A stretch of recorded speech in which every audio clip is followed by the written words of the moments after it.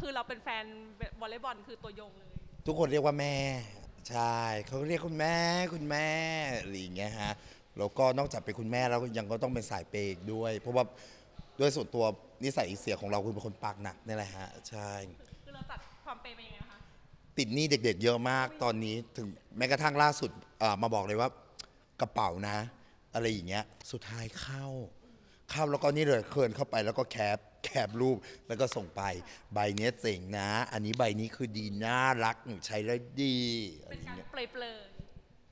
ไม่ใช่เปลยแล้วฮะ ตอนนี้บอกแล้วแล้วก็เลือกรุ่นละ เหลือแต่รอซื้ออย่างเดียวเนี่ยๆเหลือแต่จะเข้าช็อปนะเหลือแต่เข้าช็อปแล้วก็ไปซื้อมาให้อย่างเดียวใช่คือเราก็แบบพร้อมซัพพอร์ตทุ กำลังใจทุกความแบบสนับสนุนใช่เอาจริงพร้อมซัพพอร์ตมากกว่าเพราะว่าโดยส่วนตัวอย่างแขเคยเข้าไปร่วมซ้อมร่วมอะไรอย่างเงี้ยแล้วแขแบบด้วยความที่เราก็เป็นนักวอลเลย์บอลด้วยอย่างเงี้ยเรารู้ว่าซ้อมหนักแค่ไหนแล้ว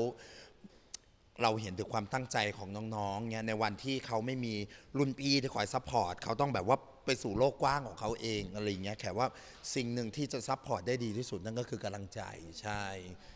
มูลค่าเท่าไหร่ก็ได้ใช่ไหมคะค่ะก็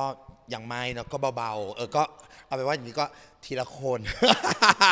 ใจเย็นๆ ทีละคนอะไรอย่างเงี้ยอืมอะไรก็ได้แต่ว่าเราต้องแบบโอเคด้วย โอเคจริงๆก็เป็นไม่ของก็ไม่ได้หนักหนาอะไรมากอย่างเงี้ยเราก็เออสนุกสนานขำๆพนันกันไปอย่างเงี้ยน้องๆก็ดีใจก็มีความสุขอะไรอย่างเงี้ยฮะ จริงๆเคยให้เคยเคยให้ของอะไรอย่างนี้กับน้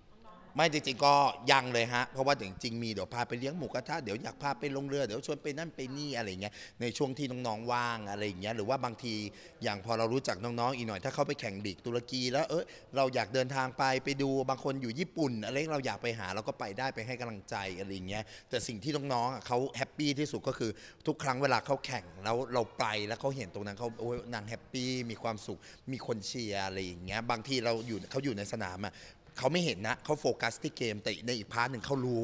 ว่าเฮ้ยได้ยินได้อะไรอย่างเงี้ยฮะก็อยากให้กระเป๋าไปถ้าเกิดเขามองมาก็ได้รู้ว่าอันนี้แบบพี่แขให้มาพี่แขให้มาอะไรอย่างเงี้ยก็เป็นเอาก็อย่างงี้ก็ง่าย ๆ ก็เลิกเปย์ผู้ชายค่ะแล้วมาเป็นนักวอลเลย์บอลแทนเออได้ยังไงบ้างคะการเป็นนักคือเลิกเปย์ผู้ชายมาแบบเป็นนักวอลเลย์บอลไม่จริง ๆ ก็คืออย่างที่บอกอะเราเป็นคนรักวอลเลย์กีฬาวอลเลย์บอลมาก แล้วน้องเขามีความสุขอะไรเงี้ยหลายคนอาจจะไม่รู้ฮะวันที่เจ็ดเซียนอำลา แขก็ไปสวัสดีโค้ชอ๊อดโค้ชอ๊อดก็บอกว่า ขอบคุณนะ ขอบคุณที่แขเข้ามาในช่วงที่พี่ๆเจ็ดเซียนซ้อม แล้วมาสร้างสีสันบรรยากาศมันแบบ เฮ้ยดูโอเคขึ้น มันดูคึกคักขึ้น แต่ต้องบอกก่อนนะครับเวลาแขไปซ้อมเนี่ยแขก็ต้องไปเก็บบอลไปเช็ดสนามไปอะไรอย่างเงี้ยนะแขทำตัวคือแขคือเด็กซ้อมคนหนึ่งไม่มีเป็นว่ารัศมีแขมายืนเฉยๆ แขต้องทำตามกฎทุกอย่างอะไรอย่างเงี้ยแล้วก็อาจารย์ออสก็ยังบอกว่า อย่าทิ้งน้องๆนะแบบเฮ้ย แบบอย่าทิ้งน้องๆนะเจเนอเรชันใหม่แบบอยู่แบบคอยช่วยผลักดันอะไรอย่างเงี้ยเวลาอาจารย์ด่วนเห็นแขที่สนามก็บอกเฮ้ยวันนี้กระตุ้นหน่อยนะอะไรอย่างเงี้ยซึ่งตอนแรกเราก็ไม่เข้าใจหน้าที่นี้หรอกแต่สุดท้ายเราเลยเข้าใจ พออาจารย์ด่วนพูดเราเลยเข้าใจว่า บางทีเขาไม่ได้มองเรา แต่เสียงเราเขาได้ยินแล้วมันเป็นแรงกระตุ้น มันกระตุ้นให้เขาแบบมันเป็นเหมือนแบบว่าแรง support ซึ่งมันจริงมันจริง แล้วพอเราเห็นอย่างนั้น เราก็รู้สึกว่า เราก็ไม่อยากเชื่อหรอกว่า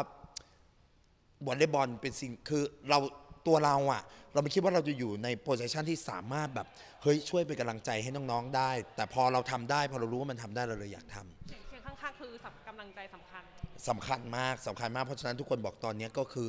ให้เชียร์เยอะๆ support เยอะๆฮะและอีกอย่างที่สำคัญแขมองมากกว่านั้นก็คือแขอยากทำให้กีฬาวอลเลย์บอลเนี่ยเป็นกีฬาชั้นนำของประเทศเรา เพราะว่าด้วยศักยภาพของทีมที่เรามีอยู่ตอนนี้อยู่ในระดับโลกแล้วเราอยากให้เด็กเล็ก ๆ มีความรู้สึกว่าสัมผัสกับวอลเลย์บอลโตขึ้นมาอยากเป็นอะไรอยากเป็นนักกีฬาวอลเลย์บอลเพราะว่านักกีฬาวอลเลย์บอลบางทีมันรอพรสวรรค์อย่างเดียวไม่ได้กว่ามันจะหาเจอ แต่ว่ามันจะมีอีก part หนึ่งซึ่งเป็นพรแสวงซึ่งบางทีเราอยากจะบอกให้เด็ก ๆ ที่ประเทศไทยอะการเป็นนักกีฬา คุณเป็นนักกีฬาทีมชาติ หรือว่าจนถ้าคุณแบบว่าตั้งใจและมั่นใจสุดๆเนี่ยคุณสามารถตะเกียกตะกายไปยืนอยู่ position เป็นนักกีฬาระดับโลก หาเงินเลี้ยงพ่อเลี้ยงแม่ได้เลย คือคุณสามารถแบบอยู่ในระดับนั้นได้เลยอย่างล่าสุดข่าวข่าวดีคือเข้ารอบไปได้มีความแสดงความยินดีกันอ๋อตายไปหรือยังคะก็เรียบร้อยค่ะ ก็มึงกูตามปกติในกลุ่ม เออ เข้าแปดแล้วนะ เออต่อไปฮะ ต่อไปก็ต่อมาค่ะแม่อะไรอย่างเงี้ย ติดตามข่าวบันเทิงได้ที่นายตะเทนทุกช่องทาง กดไลค์กดแชร์ด้วยเนาะ